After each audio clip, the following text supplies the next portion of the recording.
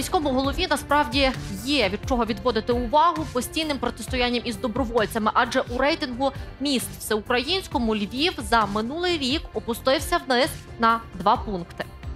Давайте подивимось графіку, про який саме рейтинг йдеться. Отож, якщо порівнювати з минулим роком, Львів був на з 9 опустився на 7. Ці місця розподіляли відповідно до індексу якості та е, різних галузей та послуг. Місто Лева випередили Тернопіль, Маріуполь, Харків, Хмельницький, Чернігів та Івано-Франківськ. У 2018 році Львів теж був на 9-й сходинці рейтингу. В напрямку розвитку Львів теж посунувся по таблиці. У 19 та 18 роках місто Лева на 8-й сходинці.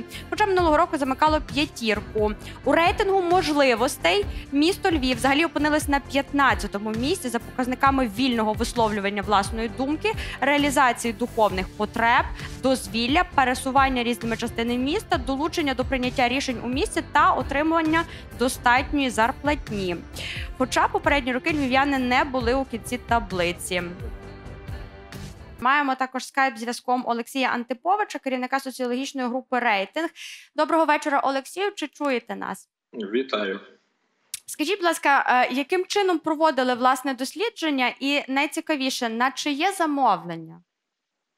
Е, ну, це все вся ця інформація присутня у нас в прес-релізі. По-перше, цей проект фінансується міжнародним республіканським інститутом, робиться на його замовлення вже п'ятий рік чи п'ять років, і буде в наступні роки проводитися. Тобто, це довгограючий такий проект, який дозволяє проаналізувати не просто ситуацію в місті, що і так можна зробити якимись окремими дослідженнями, а проаналізувати місце міста в наприклад, серед 24 обласних центрів України. В даному випадку ви бачите, що в цілому львів'яни можливо не так вже й погано оцінюють ситуацію в місті. Я б навіть сказав добре. Але на фоні інших міст є певне просідання, і це пов'язано скоріше не з погіршенням ситуації в місті, а скоріше з тим, що в інших містах ситуація покращилася або щонайменше не погіршилася. Тут серед 22 показників, які ми аналізували в в так званий зведений індекс оцінки якості е, життя в місті. Ми взагалі тільки дві сфери у Львові можемо виділити, де відбулося покращення. Перше це спортивні заклади. Ну, ось і друге. Але ж зрозуміло, що спортивні заклади, відкриття спортивних закладів це аж ніяк не заслуга органів місцевого самоврядування, це радше заслуга якихось приватних підприємців. Ну, ми ж говоримо про загальну ситуацію в місті, тому тут різні сфери, їх дуже багато, 22.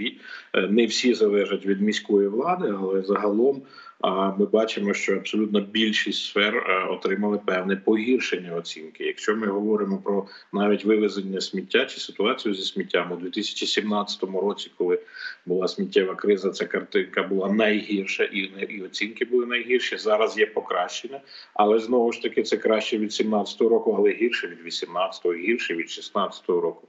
На загал Львів, е, я би сказав так, соціологічно він тупцює на місці, тобто розвитку. А у вас є якісь пояснення, чому? Ну бо мені дивно чути, що інші міста розвиваються, а в нас не зовсім все так погано. Ми просто стоїмо на місці. Ну а як же розвиток?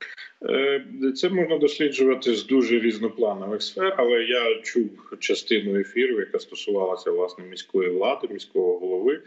Е, ми бачимо, що е, запит на зміну міської влади, зокрема міського голови, є надзвичайно високим. Результати цього ж дослідження яке нагадаю проводилося в масштабах всієї України, і, зокрема, у Львові, свідчить про те, що кожен п'ятий львів'янин підтримує або ж готовий переобрати міського голову Андрія Садового на наступний термін. Рівно стільки ж.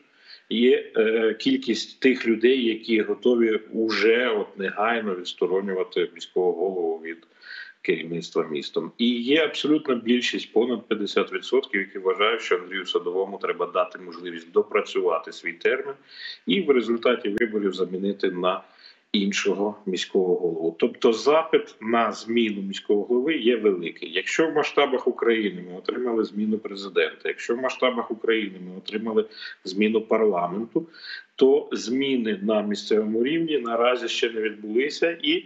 Той же ж львів'янин чи жителі інших міст, де також оцінки можуть бути не такими гарними, вони хотіли би змінити міську владу в надії, що ситуація в місті звичайно А чи можете ви зорієнтувати власне стосовно отих, е, скажімо так, без образ аморфних, які готові пробачати, вірити і, і далі давати своє так Андрію Висадовому його команді?